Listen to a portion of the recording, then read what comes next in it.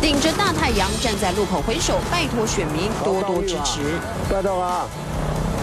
或是逐一握手发文宣，高雄市议员张汉忠被拒绝就再接再厉。出边出边，张汉忠，好谢谢。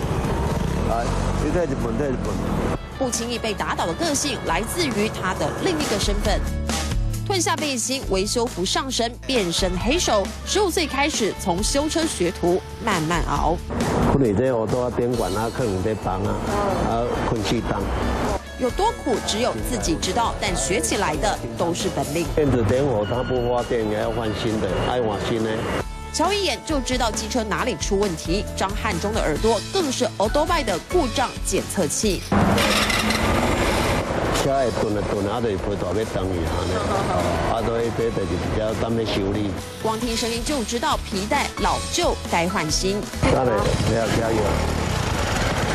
这些老顾客来修车，修得安心。当了议员的张汉忠要求接班的儿子也得诚信对人。白手起家的这间机车行经营了三十七年，说到老陶飞的评价，很很厉害，功夫很厉害又包多好。就是他做人很老实啊，修车很实在啊，他价钱也是很合理的。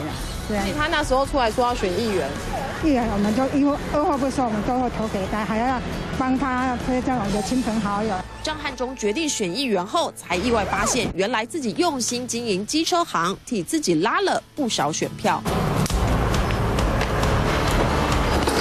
一通电话，张汉忠就出动，提供只有他专属的选民服务。哦，去无过了，开关就就无。